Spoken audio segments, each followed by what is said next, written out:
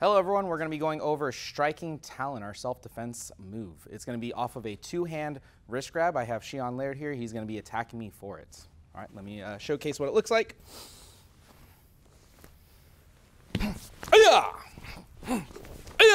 No, stay back.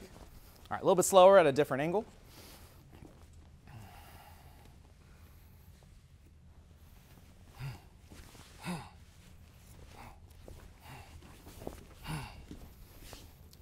So let's explain what is happening. He's grabbing me, thumbs are up, double wrist grab just like this. Now he's giving me a tug. I step in to base out with my feet, bending my knees into a horse stance.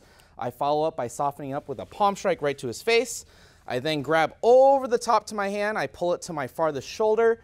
I then palm strike again with that back hand, take my back leg to do a thrust kick right to the belly, and then I cover out from there. All right, thank you, sir. Let's all do it together. Let's say that they're grabbing your left wrist. So everyone put your left hand out. You're gonna take your left leg, step in, and bend your knees, base out.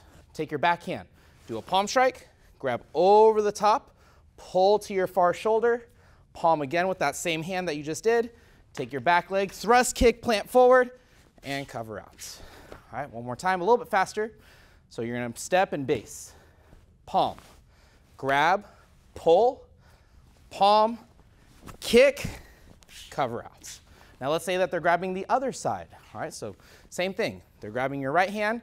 Now you're gonna step up with your right foot. Base out, take your back hand, palm strike, grab over the top, pull to that far shoulder, palm again, back leg thrust kick, cover out. Last time with me. Ready stance, striking talon. They're grabbing that right hand. Base, palm, pull, palm, kick, and cover out. That is striking talon.